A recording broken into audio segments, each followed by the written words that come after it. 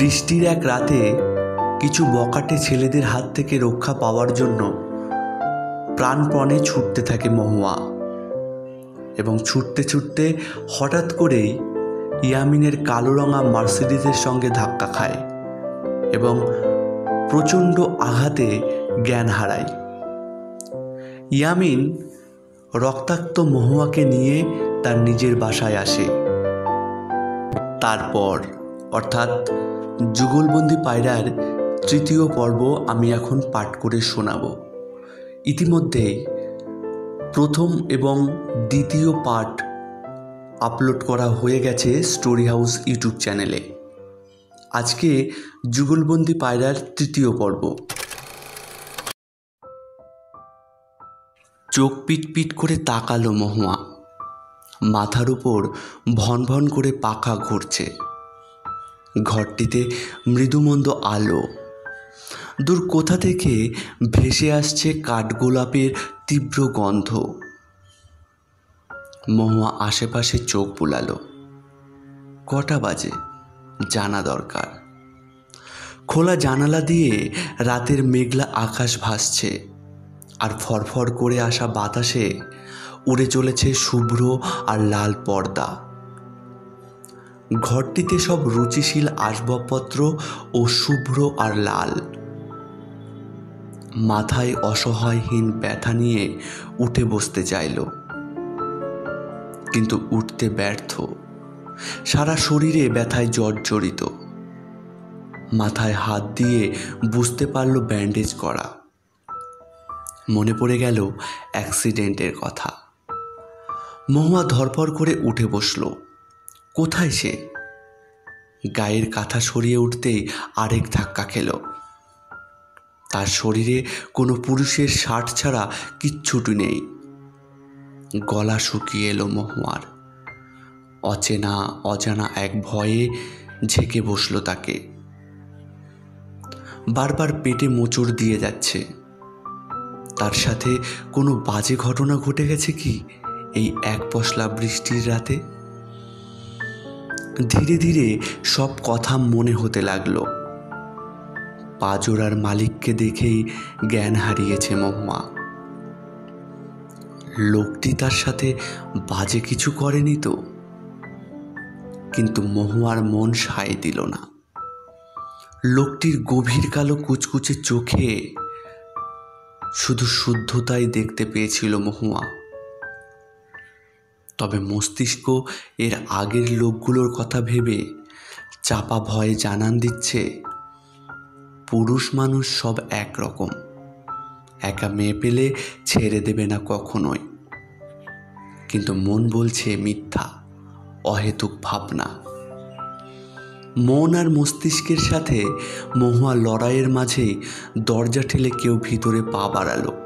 মহুয়া চোখ মেলে তাকাতেই ভেসে উঠল লোমহীন, উদাম বুকের অত্যন্ত সুপুরুষ। মহুয়ার চোখে মুখে আতঙ্ক ফুটে উঠল। মস্তিষ্কে খেলে গেল নানান প্রশ্ন। মুহূর্তেই গাল বেয়ে গড়িয়ে পড়ল ফোটা ফোটা জল। মহুয়ার ফ্যাকাশে মুখ দেখে ভ্রু কুচকে গেল ইয়ামিনের। মহুয়ার কাছে এসে দাঁড়িয়ে আতঙ্কিত কণ্ঠে বলল আপনি ঠিক আছেন? কাঁদছেন কেন? ব্যথা কি বেশি করছে? ডাক্তার ডাকবো? মহুয়া হিংস্র দৃষ্টি নিক্ষেপ করল ইয়ামিনের দিকে।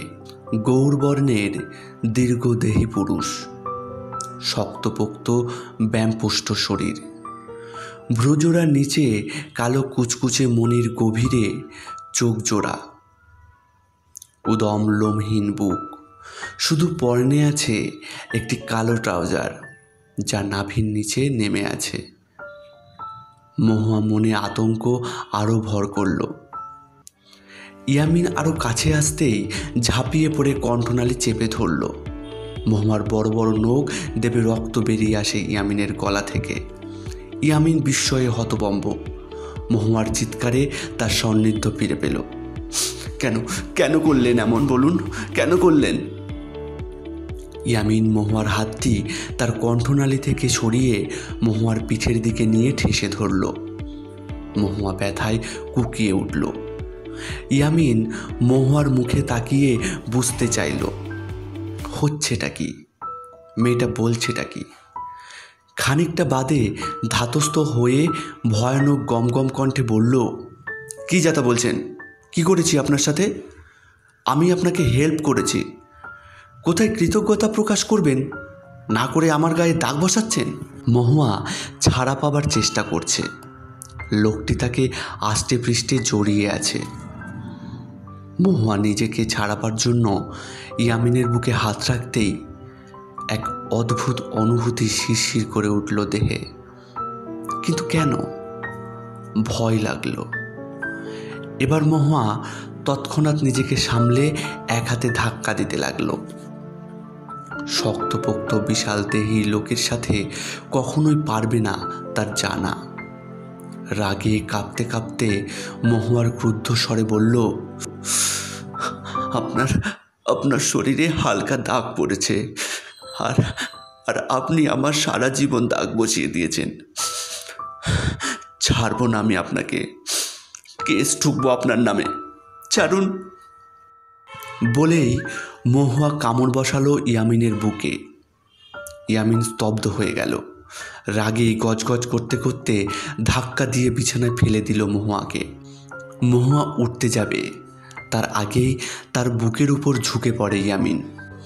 গাল চেপে মোহকে ধরে রক্তলাল চোখে তাকিয়ে বলল, ইয়ামিনের এক ইশারায় হাজারটা মেয়ে বেড পার্টনার হতে রাজি।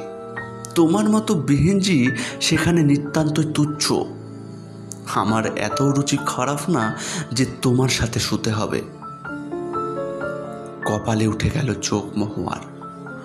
অকপটে বলা ভয়ঙ্কর কথাগুলো কানে বাজতে লাগল তার। মনের মাঝে একরাশ বেদনার ছাপ উঠে উঠল। মনে মনে বলল, তার পত্রপ্রেমিকের সে যোগ্য তো? যদি ফিরিয়ে দেয়? বিষণ্ণ হয়ে গেল তার মন। চোখের জল টপ টপ করতে লাগল।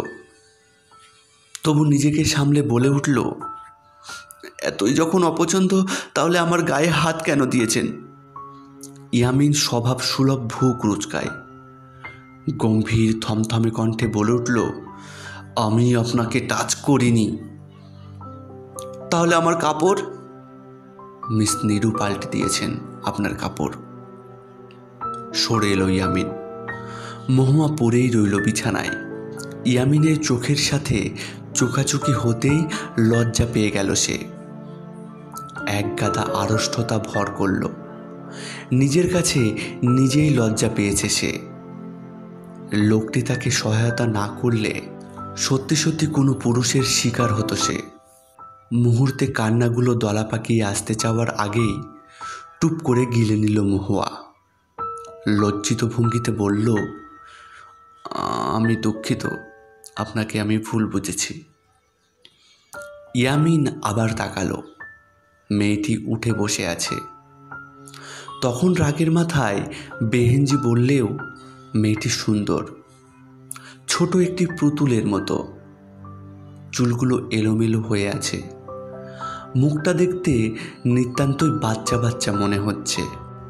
গায়ের রং হলদে ফর্সা। ইয়ামিন তীক্ষ্ণ দৃষ্টিতে দেখতে লাগল মহুয়াকে। তার চোখ, মাথার চুল থেকে মুখ, গলায় আসতেই নজর সরিয়ে নেয়। ধস্তাধস্তির সময় মহুয়ার শার্টের বোতাম ছিঁড়ে গেছে দুটি। ইয়ামিনের নজর এভাবে ফিরিয়ে নিতেই ভ্রু কুচকে যায় মহুয়ার। নিজের দিক তাকিয়ে দেখতেই আতকে উঠল মহুয়া। বিছানার চাদর টেনে গায়ে জড়িয়ে বসে পড়ল।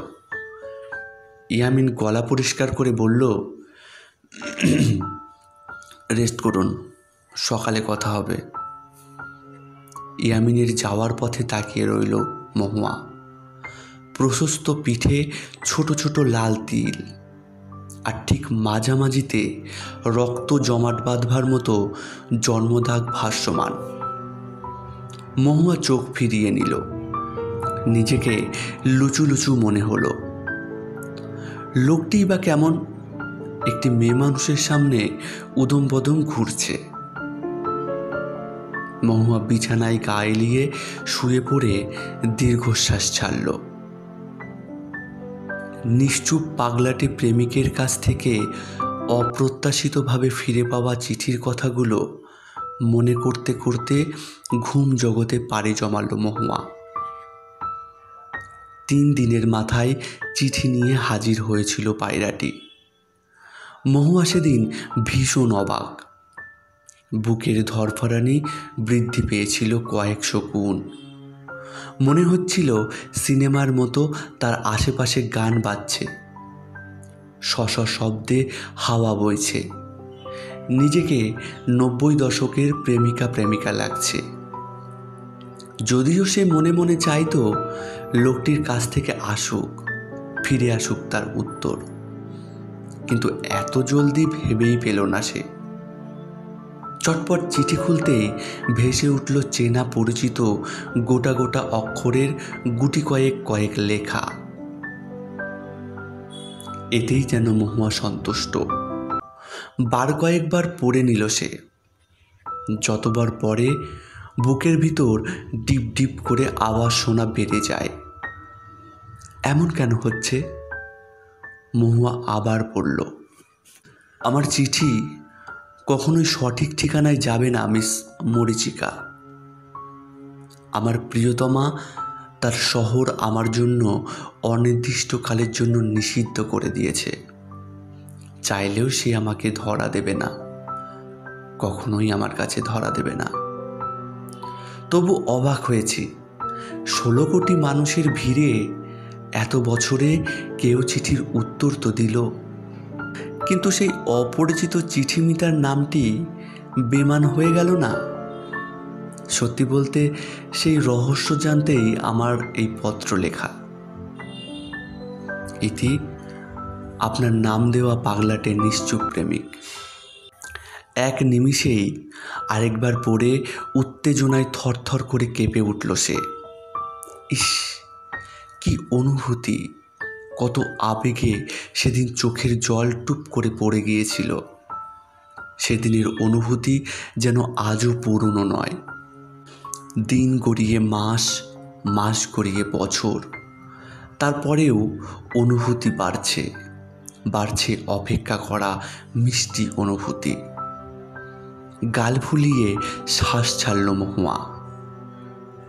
সত্যি কি এই অনুভূতিতে জর্জরিত হয়ে থাকা এক বুক ভালোবাসা পূর্ণতা পাবে। শুনছিলে যুগলবন্দি পায়রার তৃতীয় পর্ব।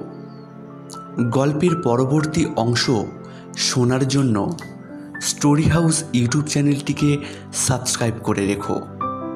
গল্পটা শুনে কেমন লাগছে কমেন্ট বক্সে জানাতে ভুলো না। ভালো লাগলে লাইক করো এবং তোমার বন্ধুদেরকে শেয়ার করো। যুগলবন্দি পায়রার চতুর্থ পর্ব নিয়ে খুব শীঘ্রই আমি হাজির হব। ততক্ষণে সবাই ভালো থেকো, সুস্থ থেকো। নমস্কার।